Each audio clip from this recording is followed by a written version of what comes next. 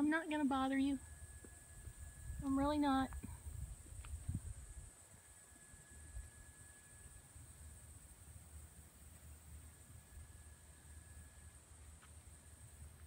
It's okay, guys.